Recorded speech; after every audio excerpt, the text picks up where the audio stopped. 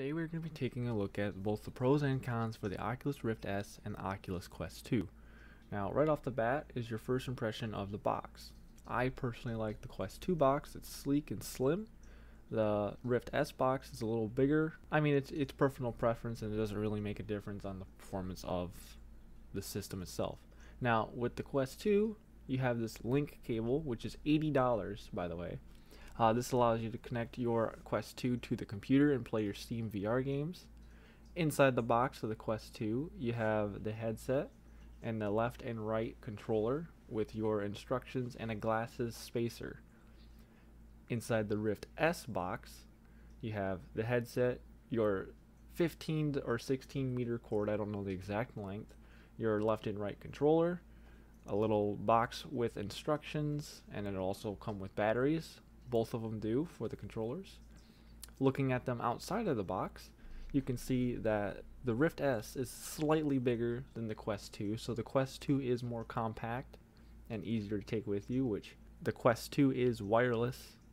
Uh, you do not need to have the link cable, but if you want to be able to play your Steam VR games, then you're going to need the link cable.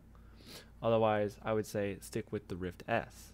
Uh, on the back of the Rift S, you can see here is the Halo headband that they have with the adjustable wheel. And on the back of the Quest 2, they just have the standard uh, soft strap, which I don't personally like. I like the adjustable wheel. And looking on Oculus.com, you can see the differences between both of the headsets.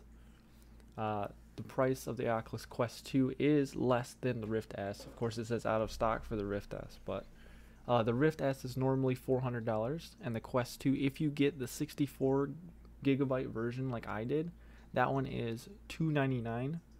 And if you get the cable, then it'll be a total of like $383 or so with tax added on. So the difference of the resolution in both of the systems. The Quest 2 has a 1832 by 1920 resolution per eye and it also has a 60, 72, and 90 hertz refresh rate supported. A fast switch LCD display, and they're both the Rift S and Quest 2 are glasses compatible. So if you wear glasses, they will fit your glasses for you. The Rift S has a 2560 by 1440 resolution, a standard LCD display, uh, 80 hertz refresh rate. So let's go over a few pros and cons of both systems. So let's start with the Rift S. Uh, Pro, if you own a computer, it's really easy and simple to set up. All you got to do is download the Oculus software on your computer and go through the setup process, and you're you're ready to go.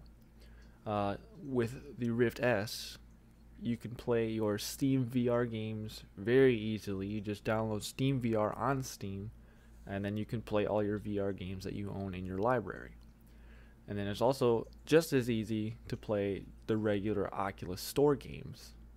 But here's where the cons come in. So for the con is it is a little lower resolution compared to the Quest, but if you were looking to upgrade, I would suggest not to because in the Quest, this is a con of the Quest. Using the link cable, you can still play your Steam VR games, but it is at the Rift resolution, which you can noticeably tell when you switch to the link mode.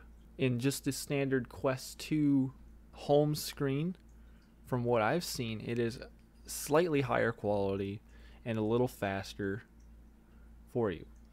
Now, here's another thing. If you are looking to upgrade to the Quest 2 from a Rift S, go through your games list on Oculus on your Oculus Rift store and see which ones are cross buyable.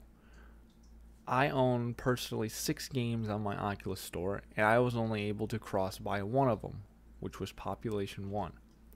If you own Beat Saber and you're looking to play that wirelessly on the go with your Quest 2, that is not cross buyable. You will have to buy the game again. So, for any of you that don't know, cross buy means that any games that you've purchased in the Rift Oculus store can be transferred over to your Quest Oculus store. You can just hit hit buy and it'll say free next to the the game that you own. But for Beat Saber, that is not cross buyable only because the developer of Beat Saber made it not cross buyable, which was a very stupid business move on their part. So that means if you want to play Beat Saber at slightly higher quality and on the go, you're going to shell out you're going to need to shell out another $30 for Beat Saber. Now, the pros of the Oculus Quest 2 is obviously it's wireless, so you have mobility and you're not tethered to a cord unless you're linked, of course. Higher quality, faster refresh rate. It is very lightweight. I mean, you still feel it on your head, but it's lighter than the Rift S. Uh, pro, uh, cons of the Quest 2 are the standard head strap. Of course, you can purchase you can purchase the Elite head strap for the Quest 2, but it's fifty dollars. And also, there is a carrying case for the Quest 2, but that is also fifty dollars.